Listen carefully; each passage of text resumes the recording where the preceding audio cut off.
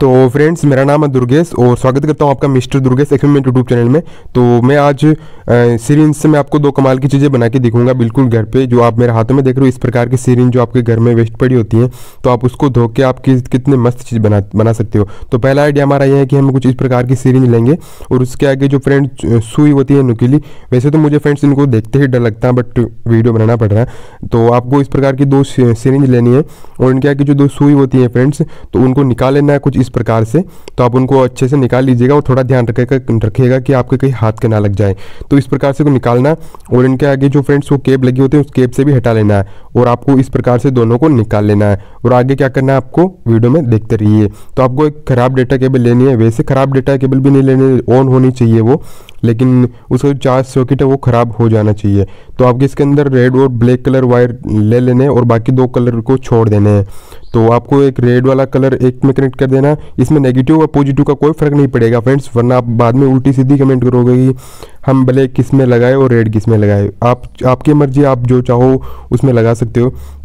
तो एक सुई के फ्रेंड्स मैं ब्लैक लगा दूँगा और एक के रेड लगा दूँगा। और इस प्रकार से अच्छे से मेल्ट करके इनको अच्छे से टाइट कर दें कर दें कर दें, कर दूँगा। तो आपको इस प्रकार से कर लेना है। बस ये हमारा क्या बन के तैयार हो गया फ्रेंड्स आप वीडियो में आगे देखते रहिए। तो अब इनको चलाने के लिए फ्रेंड्स मैं क्या कहूँगा कि एक फाइव वोल्ट का मोबाइल चार्जर लूँगा। तो मेरे पास फाइव वोल्ट मोबाइल चार्जर जो अपने घर पे मोबाइल चार्जर करती है, वो वाला चार्जर लेना है अपन को। तो आप देख सकते हो मेरे हाथ में चार्जर है फाइव वोल्ट का। तो आपको ये चार्जर लेना है और उसको डायरेक्ट इलेक्ट्रिसिटी बोर्ड में लगा देना और इस डेटा केबल को इसके अंदर घुसोड़ देना है इस प्रकार से। तो ये जो हमारा है, वर्क करेगा तो ये कैसे वर्क करेगा, क्या चीज़ बना है, मैं आपको वीडियो में आगे बताऊँगा।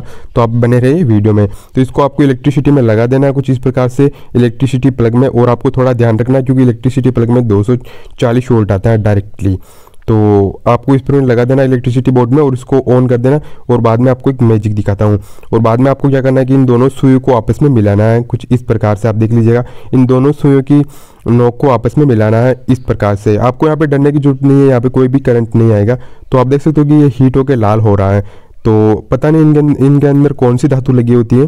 तो इसको आप एक एक्सपेरिमेंट भी मान सकते हो कि एक अच्छा एक्सपेरिमेंट है। आप कहीं स्कूल में, आप कहीं पे भी कर सकते हो इसको। तो आप देख सकते हो इस, ये इन दोनों को टच कराएँगे तो ये हीट होकर लाल होगा। तो इसका ज़ाहिर सी बात है कि हमारे, हम इसे सोल्डरिंग भी कर सकते हैं आराम से। तो मैं सोल्डर वायर को पिघला के देखता हूँ कि ये सोल्डर वायर को पिघलाता है ना नहीं पिघलाता। अगर पिघला देता है तो मैं समझ जाऊँगा कि ये सोल्डर सोल्डरिंग भी कर सकता है। तो काफ़ी अच्छा आइडिया फ्रेंड्स ये सोल्डरिंग भी कर सकता है। तो मुझे काफ़ी अच्छा लगा। आपको कैसा लगा कमेंट करके ज़रूर बताना फ्रेंड्स तो चलते हैं नेक्स्ट आइडिया की तरफ़। तो दूसरा आइडिया ये आइडिया हमारा ये है कि आपको इस प्रकार की सीरीज़ लेनी है। तो ये सीरीज़ फ्रेंड्स आप नई लेके आते हो मार्केट से तो ये आपको दो रुपये में मिल जाएगी, पाँच रुपये में मिल जाएगी और छः रुपये में भी अवेलेबल होती हैं। तो आपकी मर्ज़ी, आप कौन सी सीरीज़ लेके आ, आते हो? जो सीरीज़ मैं लेके आया हूँ, ये मेरे को छः रुपये में मिली है। तो आपकी जो इसकी अगले वाली चोंच है फ्रेंड जहाँ पे सुई लगती है, उसको उड़ा देना है मतलब काट देना है, उसको कुछ इस प्रकार से। और इसके पीछे की साइड में भी जो रबड़ का कुछ लगा होता है फ्रेंड्स इसको निकालना बड़ी मुश्किल है। मेरे से मतलब बहुत ही मुश्किल लगा मेरे को इसको निकालना तो मुझे काफ़ी टाइम लग गया इसको निकालने में। कम से कम पाँच से पाँच मिनट लगे मुझे इसको। मैंने बड़ी मुसीबत से इसको निकाला है। तो आप देख सकते हो मैं ट्राई कर रहा हूँ, लेकिन ये नहीं निकल रहा। तो फिर मैंने वीडियो को रोक के इसको बहुत तरीके, अच्छे तरीके से इसको निकाल लिया है। तो चलिए कोई नहीं फ्रेंड्स आके बात करते हैं। तो आपको जो पीछे का जो पुश करने का होता है, इसको वापस इसके अंदर डाल देना है। तो अब आपको एक टूटा फूटा लाइटर लेना है, जो सिगरेट लाइटर होता है, जिसके अंदर गैस खत्म हो गई हो फ्रेंड्स, और वो चलता नहीं हो। तो कुछ इस प्रकार का देखो फ्रेंड्स, मेरे पास एक चल नहीं रहा है ये तो इसके अंदर गैस बिल्कुल ख़त्म हो चुकी है तो इसका मतलब ये पुराना पड़ा था इधर उधर। तो मैंने सोचा क्यों ना इसकी एक वीडियो बनाई जाए। तो आपको इसको तोड़ मरोड़ के, इसके अंदर के जो सामान है, उनको निकाल लेना है। वैसे इनके अंदर क्या सामान होते हैं, आप देख लीजिएगा। वैसे बाकी सामान हमारे कुछ काम नहीं आएगी तो एक चीज़ इसके अंदर हमारे काम आएगी वो क्या आएगी आप वीडियो में बने रहिए। तो वो चीज़ वो निकल के उधर चली गई आप देख सकते हैं ब्लैक कलर की। तो आपको इसका जो नीचे वाला रेड कलर का वायर है उसको ऊपर ले लेना आपको जहाँ पे एक वो बोल टाइप का कुछ लगा वहाँ पे ले लेना और इसको इस इसके अंदर इस प्रकार से डालेंगे हम। तो हमें आगे एक होल्ड होल्ड करना है नो, नो, नोजल के पास। तो मैंने देख सकते हो फ्रेंड्स यहाँ पे एक होल्ड कर दिया और वायर को और आप देख रहे हो ये बोल टाइप का तो इसको हम इसके अंदर डाल देंगे। और अच्छे से इसको चिपका देंगे। तो फ्रेंड्स जब हमने होल बड़ा कर दिया, इसलिए अब जैसे हम इसको वर्क करेंगे तो ये टूट सकता है। तो इसका भी मैंने जुगाड़ सोच रखा कि इसका क्या क्या करना है और वायर को और इसको निकाल लेना बाहर। बाकी बाकी आइटम को फ्रेंड्स हमको इस सीरेंज के अंदर ही रहने देना। बाकी हमें कुछ नहीं निकालना है। तो आप समझ गए होंगे कि आप वीडियो में मतलब अब मैं आपको अच्छी तरीके से समझा पा रहा हूँ अगर आपको फिर भी समझ में नहीं आता फ्रेंड्स तो आप मुझे कमेंट करके पूछ सकते हो। तो अब मैं एक पीवीसी पाइप का टुकड़ा लिया हूँ फ्रेंड्स और उसके अंदर एक बड़ा होल एक छोटा होल कर दिया हूँ।